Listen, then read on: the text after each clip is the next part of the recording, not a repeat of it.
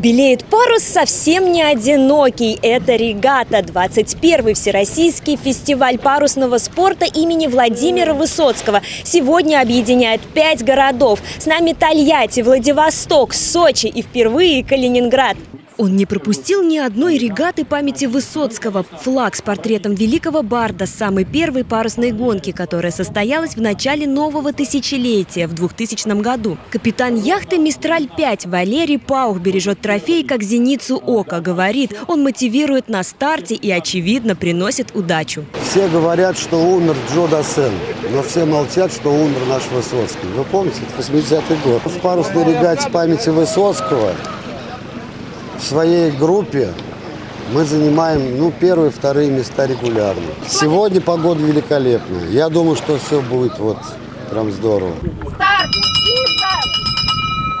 Безмятежный вид со стороны – наивная иллюзия. Между экипажами назревает нешуточная борьба. Мечта, мечта, мечта, мечта,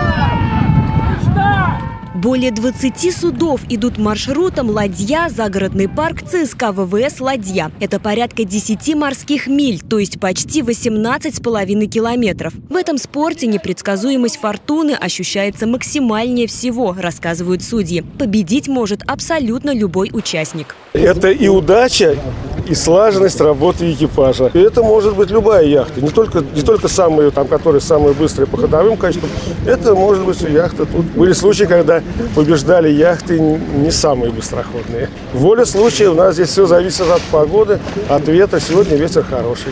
Впервые регата памяти Владимира Высоцкого прошла именно в Самаре 21 год назад. Организатором выступил Самарский центр-музей Владимира Высоцкого при поддержке регионального министерства спорта и туризма. Идея настолько понравилась любителям парусного спорта, что сегодня фестиваль охватывает сотни поклонников творчества советского поэта, музыканта и актера в разных уголках страны. Идейный вдохновитель данной регаты Всеволод Ханчин, яхтенный капитан мой отец на протяжении 21 года.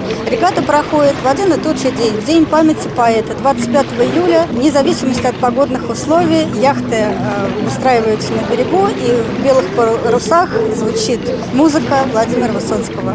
На регате разыграли призы, медали, переходящие кубки губернатора Самарской области и главы городского округа Самара. А экипажу-победителю вручили кубок чемпиона и денежный приз. На этот раз победу одержала яхта Galaxy капитана самарца Андрея Бирюкова. Гульфия Сафина, Максим Гусев. События.